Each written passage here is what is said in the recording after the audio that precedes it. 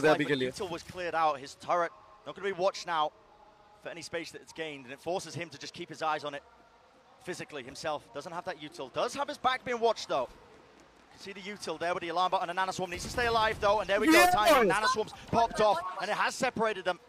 Rossi. them up, SkRossi right into the corner. Does he realize? Finally spots it. Spike dropped down, and now the re-swing. Reset in the aim, one after another. SK Rossi, with his country represented, India, taking them all the way now to map number three in this series.